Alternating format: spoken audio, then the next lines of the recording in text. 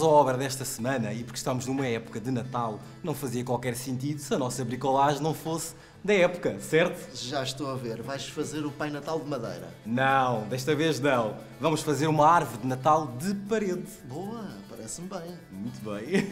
Mas, quando acabar o Natal, não desesperes. Arrancamos os alusivos e isto transforma-se num triângulo.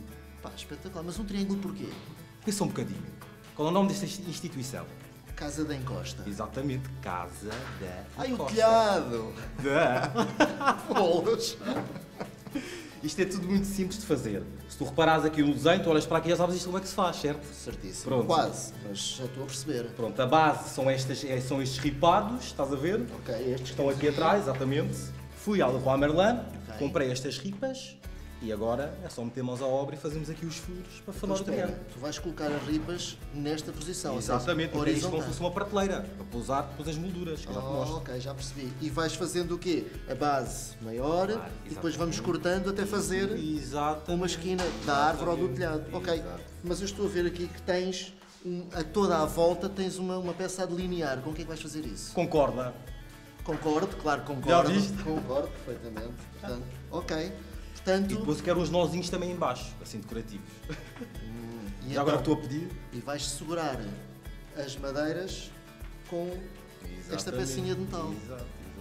É isso Pensaste em mesmo. tudo. A vantagem é que o pensador tem um executor, não é? Exato, sem ti Portanto- não era nada, né? Pois, claro. Então vamos lá. Mãos à obra!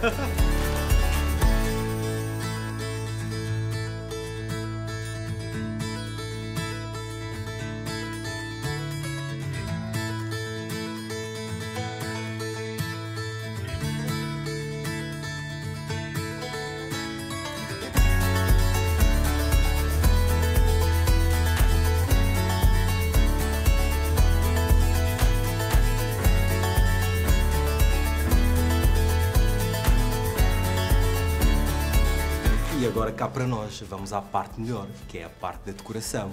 O que é que eu fiz? Fui à Leroy Merlin, perdi-me lá porque eles têm imensa coisa de Natal, mas finalmente consegui escolher. O que é que eu trouxe? Trouxe uma bota de Natal, uma para cada criança, uma moldura, que vamos escrever aqui o nome e que mais tarde podem colocar a fotografia de cada criança. E a árvore que é a árvore, não podia faltar a estrela de Natal. Aqui está ela. Bom, então nesse caso vamos já começar a colocar tudo na árvore. Exatamente, mas a estrela quem coloca sou eu. Bem, Mas a estrela sou eu.